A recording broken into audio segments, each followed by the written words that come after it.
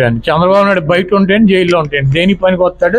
ఎవడో పనికి వస్తాడు. ఇప్పుడు సుప్రీంకోర్టుకి వెళ్తే కాగితాలు లేకుండా సబ్మిట్ చేయకుండా చూడకుండా జడ్జిమెంట్ చెప్పరు కదా. హైకో సిఐడి కోర్టులో ఏం జరిగింది? ఏం కాగితాలు ఇచ్చారు? వాళ్ళు ఏం జడ్జిమెంట్ ఇచ్చారు? హైకోర్టులో ఏం జరిగింది? హైకోర్టులో తెలుగుదేశం పార్టీ తరఫున చంద్రబాబు నాయుడు లాయర్లు ఏమి ఇచ్చారు? సిఐడి లాయర్లు ఏమి ఇచ్చారు? అక్కడ జడ్జిమెంట్ ఏమి వచ్చింది?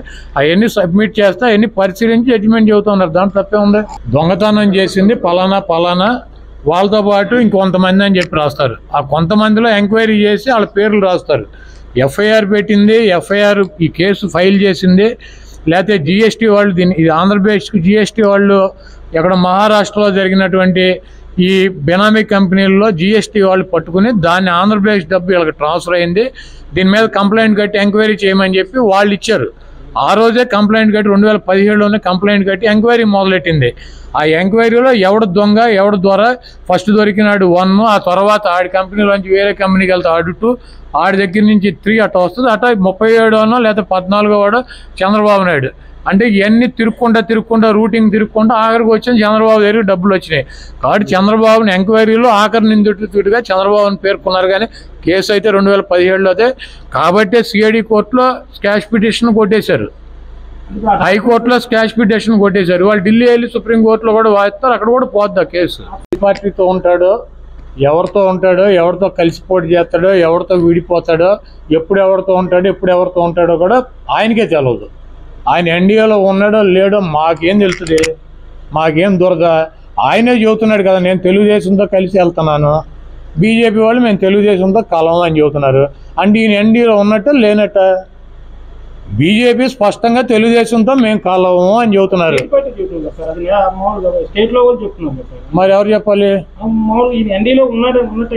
నువ్వు కూడా ఎన్డీఏ నేను కూడా ఎన్డీఏలో ఉన్నానంటే ఉన్నట్టేనా? లేకపోతే నువ్వు కూడా ఎన్డీఏలో ఉన్నా నేను వెళ్ళి అమెరికాలో రిపబ్లికన్ పార్టీలో కలిసి ఉన్నానంటే ఉన్నట్టేనా వాళ్ళు చెప్పాలి కదా నువ్వు నేను చెబితే ఉపయోగం ఉంది. పవన్ కళ్యాణ్ స్పష్టంగా తెలుగుదేశంతో కలిసి వెళ్తాను తెలుగుదేశంతో పోటీ చేస్తానని చెప్పాడా? ఇప్పుడు బీజేపీతో కలిసి ఉన్నాను బీజేపీతో పోటీ చేస్తానని చెబుతున్నాడా? కాదబ్బాయి ఎన్డీఏలో ఉండమేంటి? సరే ఎన్డీఏలో కాదు ఎక్కడో ఇండియాలో ఉండమను ఒప్పిస్తాను లేకపోతే వెళ్ళి పక్కన ఏదైనా ఒరిస్సాలో బీజు వాళ్ళతో కలిసి పోటీ చేస్తుంటే వైసీపీ వాళ్ళే కంగారు పడిపోతున్నారు మాకు డిపాజిట్లు కూడా రావేమో అని చెప్పి అంటే పోయింది సార్ ఆయనకి రాలేదు కాబట్టి సార్ మాకు రావని మేము కంగారు ఆయన రెండు చోట్ల ఓడిపోయి ఆయనే కంగారు పట్ల. అదే రెండు చోట్ల పవన్ కళ్యాణ్ ఓడిపోయి ఒక్క సీటు గెలిచి దాదాపు నూట ముప్పై చోట్ల డిపాజిట్లు రాకపోతే చంద్ర పవన్ కళ్యాణ్ ఓ రెచ్చిపోతున్నాడు ఎగురుతున్నాడు గంతులు వేస్తున్నాడు ఇప్పుడు మేము నూట యాభై ఒక్క మంది ఎమ్మెల్యేలను గెలిచి మేము కంగారు పడిపోతున్నాం. ఈయన చూసి ఇట్లాంటి పార్టీలు ఇన్ని వచ్చినాయి ఇన్ని పోయినాయి.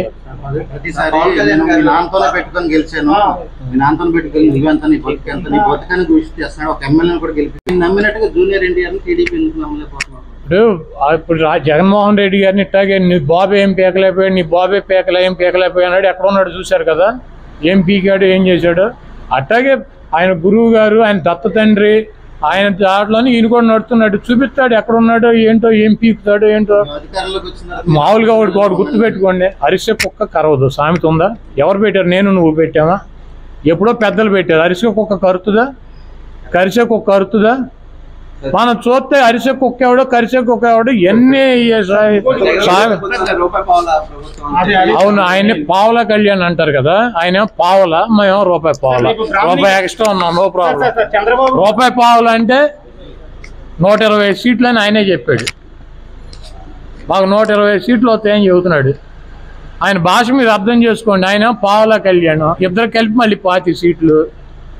మొన్న ఇరవై నాలుగు వచ్చినాయి ఆయనకి ఇరవై మూడుకి ఈయన ఇరవై ఐదుకి. పావుల కళ్యాణ్కి ఈసారి ఇంకోటి పెరుగుద్దామా సార్ లోకేష్ ములాఖాతులో చంద్రబాబు నేను చంద్రబాబు కలుస్తున్నారు కదా సార్. అంటే రేపు సమన్వయ కమిటీలు కానీ ఇప్పుడు చంద్రబాబు నాయుడు గారు భువనేశ్వర్ గారు బ్రహ్మణి గారు లోకేష్ గారు కలిస్తే ఏముండదు. దాంతో ఎప్పుడో డెబ్బై సంవత్సరం డెబ్బై పెళ్ళైన కాడి నుంచి చంద్రబాబు నాయుడు గారు భువనేశ్వర్ గారు కలిసే ఉన్నారు కదా. ఇప్పుడు ఆయన కొత్త కలుతున్నారా?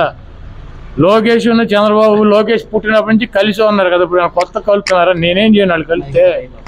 రేపు బ్రాహ్మణి గారు కూడా పిలిపించారండి. అక్టోబర్ ఏడో తారీఖు రాత్రి ఏడు గంటలకి చంద్రబాబు జరిగిన అన్యాయానికి కొవ్వొత్తులు లైట్లు అన్ని మొన్న పల్లెలు కోటమని పిలిపిస్తే డప్పులు కోటమని ఏం కొట్టారు? చూశారు కదా ఈ రాష్ట్ర ప్రజలు. ఆ? ఏదో అట్లా ఇంకెక్కువ ఇప్పుడు ముద్రగడ పద్మనాభం గారు పల్లెలు కొట్టమన్నారు. వీళ్ళు ఏలం చేశారు. దేవుడు ఉన్నాడు. ఆయన భార్యను అమ్మనభూతులు తిట్టించారు. కొడుకుని రోడ్డు మీద మన అందరం చూస్తా ఉండగానే ఈడ్చుకెళ్ళారు మేమైతే అది చేయట్లేదు కదా ఈ పల్లెలు కొట్టేవాళ్ళని డప్పులు కొట్టేవాళ్ళని సరే వాళ్ళు ఒక ఐదు నిమిషాలు పది నిమిషాలు కొట్టుకుంటున్నారు పోతున్నారు. దాని గురించి ఎవరికి ఇబ్బంది ఉంటుంది? కొవ్వొత్తులు ఏడు గంటల నుంచి కాతే చంద్రబాబు నాయుడు బెయిల్ వచ్చేదాకా కొవ్వొత్తి పట్టు తిరగమని మాకేం కొడుద్ది తెలుగుదేశం పార్టీ చంద్రబాబు నాయుడు అవినీతి అక్రమాల పుట్ట. అతను అరెస్ట్ అయ్యి జైలుకి వెళ్ళిన తర్వాత ఈ రాష్ట్ర ప్రజలందరూ కూడా గమనిస్తున్నారు. ఇక్కడ సిఐడి కోర్టులో కానీ హైకోర్టులో కానీ లేకపోతే ఈరోజు సుప్రీంకోర్టులో కానీ వాళ్ళ వాదనలన్నీ కూడా ఒకటే. సెవెంటీన్ ఏ సెక్షన్ ప్రకారం చంద్రబాబు నాయుడు అరెస్ట్ చేయటం విరుద్ధం. దానికి కారణం గవర్నర్ పర్మిషన్ తీసుకోలేదని చెబుతున్నారు. ఈరోజు క్యాష్ పిటిషన్ కావచ్చు లేకపోతే బెయిల్ పిటిషన్లో కూడా చంద్రబాబు నాయుడు తరపునటువంటి వచ్చినటువంటి ఢిల్లీ లాయర్లు కూడా వాదించేది ఒకటే. చంద్రబాబు నాయుడు అవినీతి చేశాడు చంద్రబాబు నాయుడు తప్పు చేశాడు ఈ రాష్ట్ర ఖజానాన్ని దోచుకున్నాడు. కాకపోతే ఈ దొంగని పట్టుకోవటానికి గవర్నర్ పర్మిషన్ తీసుకోవాలి. గవర్నర్ పర్మిషన్ తీసుకోలేదు కాబట్టి ఈ కేసుని ఎఫ్ఐఆర్నే స్కాష్ చేయండి. చంద్రబాబు నాయుడు మీద కేసు తీసేయమని చెప్పి వాదిస్తున్నారు. ఇది రెండు వేల పదిహేడులో జరిగినటువంటి కార్యక్రమం. పద్దెనిమిదిలోనే కేసు ఎఫ్ఐఆర్ అయింది. సెక్షన్ సెవెంటీన్ రాకముందే ఈ కేసుని కేసుని పుటప్ చేయడం జరిగింది. దాంట్లోనే చంద్రబాబుని అరెస్ట్ చేశారు. ఇది ఒకటే కాదు ఆయన స్కిల్ డెవలప్మెంట్తో పాటు రాజధాని భూములు కావచ్చు రాజధాని రింగ్ రోడ్డు కావచ్చు లేకపోతే ఫైబర్ గ్రిడ్ కావచ్చు అనేకమైనటువంటి అక్రమాలు చేశాడు. చంద్రబాబు నాయుడు రెండు వేల నాలుగులో ముఖ్యమంత్రిగా దిగిపోయేటప్పటికి ఓన్లీ కమిషన్లకు గుర్తుపడేవాడు. పది పర్సెంట్ పదిహేను పర్సెంట్ కమిషన్లు తీసుకొని ప్రభుత్వాన్ని నడిపేవాడు.